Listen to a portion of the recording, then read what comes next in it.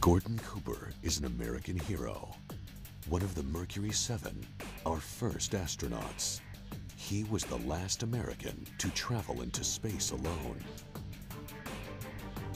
Before he became an astronaut, Cooper was an elite Air Force test pilot. That's when he witnessed an amazing sight, a fleet of hundreds of UFOs. Yes, they were flying quite high. How high we couldn't tell because we couldn't get anywhere near their altitude. Following standard procedure, Cooper filed a report. The official response puzzled him. They were probably high-flying seed pods, which didn't sound very logical. The military often claims that UFO sightings are simply weather balloons.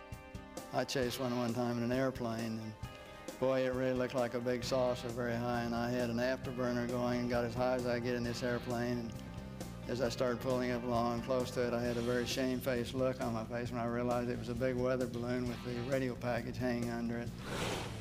A few years later, at Edwards Air Force Base, Cooper had another UFO experience. This time, his camera crew actually filmed it. As they were sitting there filming, a little saucer came from, uh, I say little saucer, it was a saucer, came flying over their heads, put down three little landing gear and landed right out on the dry lake bed. And they picked up their cameras and started over toward it, filming as they went. And when they got in fairly close to it, it lifted up, put the gear back in the wheel wells, tipped up, and took off at a great rate of speed. I sent them over to develop the film, and then had to go through the, all the proper regulations of reporting this. And, and, we wound up having to send the film forward to Washington in the uh, base jet airplane.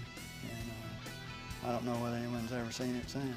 The alien craft was strikingly similar to the ones he saw a few years before.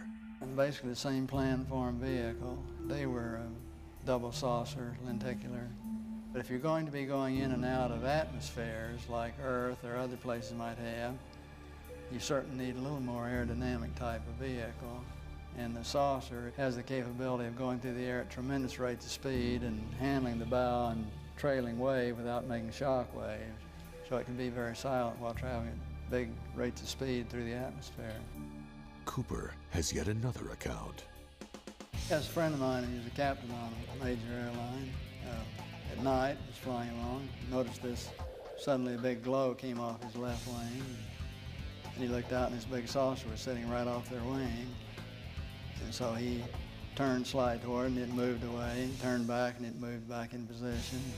Turned to his co-pilot and said, uh, do you see what I see? And he said, oh God, yeah, I do. And it trailed along with him for quite a period of time, then tipped up and climbed very steeply away. Astronauts have reported several UFO sightings from space, but Cooper believes only one of them is true. To my knowledge, the only thing that was ever seen on any of our space flights, and believe me, all of us would like to have seen something, was on Jim McDivitt's Gemini 7 mission, where they saw um, this glint of something metallic off in the distance. And he reported, and nobody had it listed on the ground, so he tried getting a picture of it, but the sun, unfortunately, was glinting off of it so bright, all you got is just a glint. There was no detail on what it was but never any, uh, any further sighting at all. In a letter to the UN, Cooper laid out his opinion on UFOs. I, I would like to think they're going to really release all the information. Cooper believes we are not alone. No, I've always felt that there are a lot of other planets that have life on. With all those numbers of potentially habitable planets out there, I think we're kind of vain to think that God would habitate only one of them.